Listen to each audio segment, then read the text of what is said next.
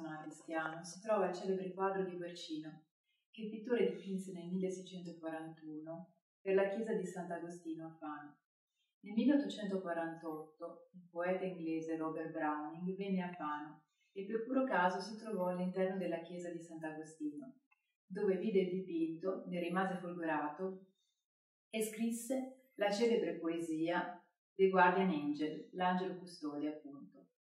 Nel 1912 uno studioso del poeta inglese Browning, il professor Phelps dell'Università di Yale negli Stati Uniti, venne a Fano ripercorrendo le tappe del viaggio di Browning. Vide anche lui l'angelo custode e decise di fondare a Fano il Fano Club, per essere membri dei quali occorreva fare tre cose: venire a Fano, vedere l'angelo custode e spedire una cartolina in America che lo ritraesse. Lui stesso ne spedì ben 75, ma queste cartoline non giunsero mai negli Stati Uniti, in quanto furono imbarcate sul Titanic e affondarono con esso.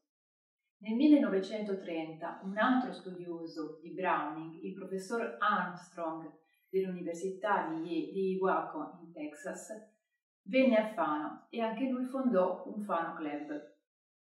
E a ricordo di quella sua visita fece ehm, porre vicino al dipinto una lastra di marmo con un'iscrizione.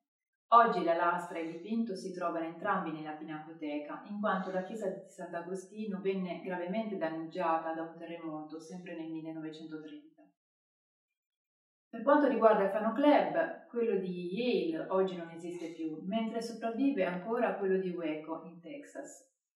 E lo scorso 15 giugno la direttrice della biblioteca Armstrong di Waco in Texas è venuta proprio a Fano per diventare ufficialmente uno dei membri dei Fano Club e rinnovare il legame tra la città di Waco e la nostra città di Fano.